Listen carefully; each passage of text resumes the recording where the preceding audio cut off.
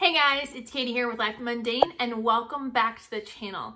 Today I'm excited to share with you guys what our morning homeschool routine looks like. I know many of you guys have asked me how do I schedule homeschooling with so many kids? How do we get it all done? Today I'm not going to share with you our entire school day, but I am going to share from the time the kids get up until the time that we get ready for lunch. So that time period, we usually stop for lunch anywhere between 12 and 12.30, if that kind of gives you an idea. And I'm gonna share with you guys everything that we do in that time period. So let's get started. Hi, my name is Katie and welcome to Life in the Mundane.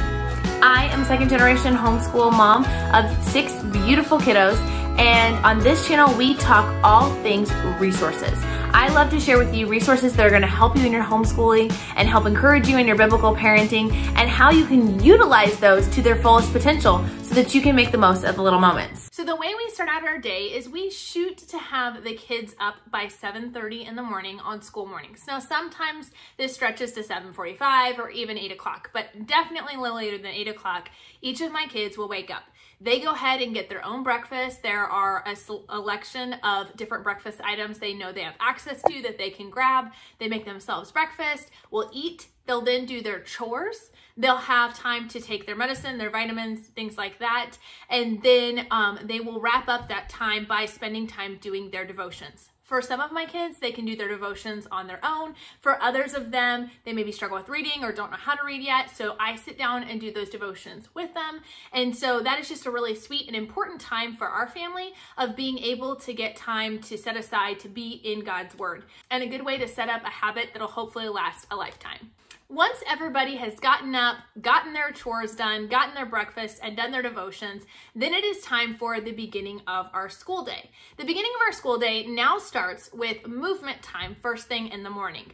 Thanks to Ryan over at Mama on a Mission and it has been such a lifesaver. Sometimes we'll do outdoor activities, especially as the weather is getting nicer. We might take a walk in the morning or have the kids um, do some kind of exercise outdoor, but many times, at least recently with it being hotter, we have been doing our, um, we've been doing our movement time down in the basement. We will put on a YouTube channel, either something like Cosmic Kids Yoga or P.E. Bowman, um, or something like that, dance music, things like that, just to get them up and moving. This time can last anywhere from 10 to 30 minutes, depending on how the kids are holding up and also how soon they get done with all their other morning routine items.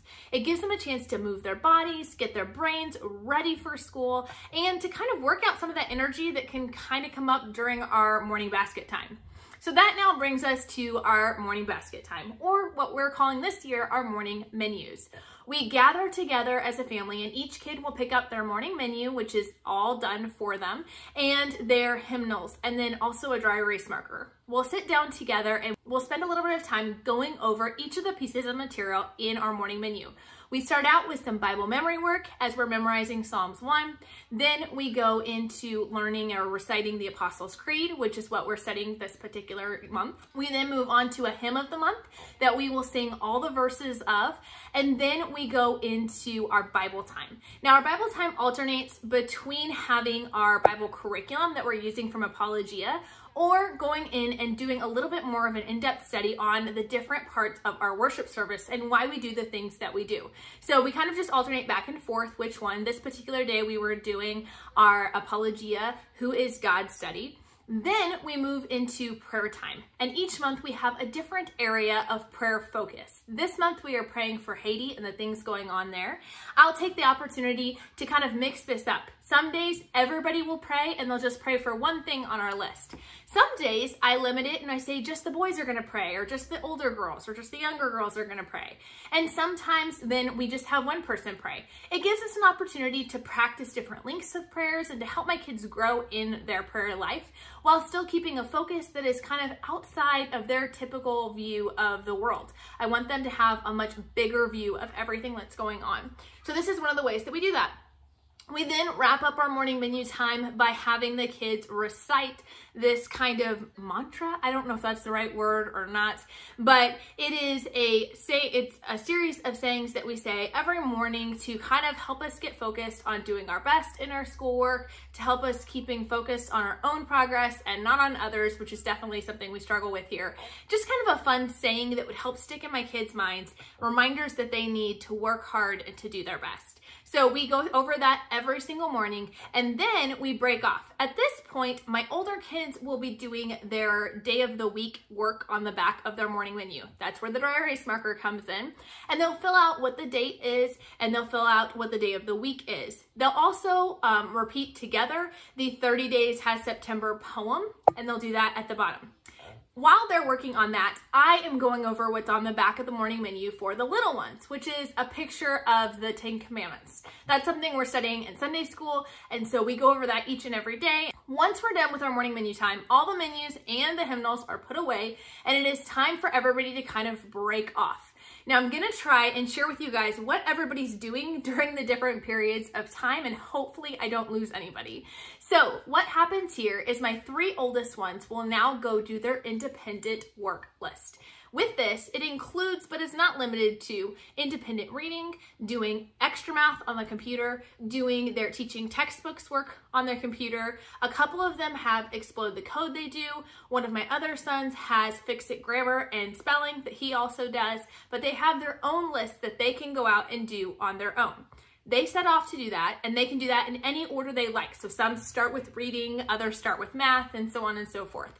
While they're doing that, I break off and spend 10 minutes sitting down with the two littlest ones, going through our basket, and we pick out just a few things each day to do together. We oftentimes will read a book or play with uh, one of our educational toys like our like our monkey balance game. And then while we're doing that 10 minutes together, my middle daughter is off doing 10 minutes of listening to an audiobook. I don't assign that audiobook to her. She can pick whatever she wants, but it's just 10 minutes that she's doing that so I can give the littlest ones my full attention. Once that 10 minutes is over, the little ones go downstairs and they will have a leapfrog movie. We have a couple of different ones and I actually purchase a new one each month so that we can add a new one into the rotation. Um, they can pick out whichever one they want, but they'll watch that leapfrog movie. So that buys me about 30 minutes of them being fully focused on the TV. The older kids are still working on independent time during this era, and then I'm gonna take my middle daughter and we're gonna sit down at the table and tackle her work that has to be done. We do things like her Horizons Math, we do Explode the Code, and we do Happy Cheetah reading together. Again, she can pick whichever order she would like to do for each of these subjects, but we just sit down one-on-one -on -one without any interruptions, and it's my time to focus on her and to help her what she needs to do. When we finish that, we close up all the books, put them away, and then I have the younger ones come up after the movie is over and everybody takes a quick snack break. Once the snack is done, I will take all three of the youngest ones, my middle daughter and my two little ones, and we go downstairs. We'll spend this time to work on their Purely Preschool curriculum. If you're not familiar with Purely Preschool, I will link a video up in the iCards and down in the description below that tells you 10 things that you should know about this amazing curriculum. But we take the opportunity to work on that. Now this time period varies a lot because this time period that we work on their preschool curriculum is only as long as the older kids need before they start needing my help. You see, I give each of my kids designated focus time where I'm just spending time with them and helping them with what they need. But after that time has been spent with the youngest ones, so sometimes this is as easy as I go downstairs and I read the book for the day. Other days we get to do a fun activity. Like this particular day, we got to paint our alphabet A with different fingerprints as we were making apples all over our A. So some days are more involved, other days are not as much. After this point, when my older kids start to need me, I put on the song on YouTube for that particular unit for Purely Preschool for the little ones to watch. And then after that, they are just released to go play. They can play independently, and I found that this is just enough time, maybe about an hour or so between then and lunch, when they can just kind of play independently and not get into too much trouble or be too distracting. At this point, my older kids are ready for my help. I might sit down and help them answer a few questions they got stuck on on teaching textbooks. Maybe they need to read aloud something to me and they need me to listen. We also use the Sonlight reading guides, even though we don't actually use Sonlight curriculum, that assigns my kids reading and then it gives them different comprehension questions and gives me the answer. So even if I haven't read the book, I can still test their comprehension. So they'll come to me during that period of time. I'll ask them their comprehension questions um, and things like that. So I'm just kind of helping them work through any problems that they might have.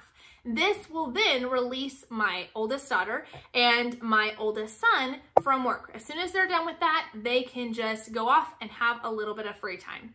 That brings me to my second oldest son. He has a little bit more work because academically he is a little bit further ahead. My oldest son does have high functioning autism and uh, severe dyslexia as well as some auditory processing issues and other things. So we handle things just a little bit differently. That's the beauty of homeschooling is that we can tailor their education to exactly what each child needs.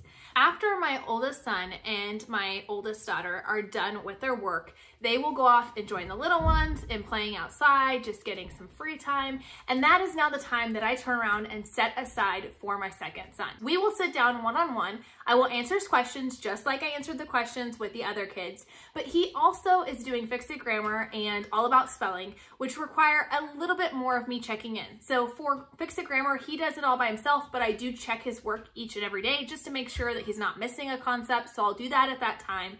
And then with All About Spelling, it does require me to sit down and teach him the lesson.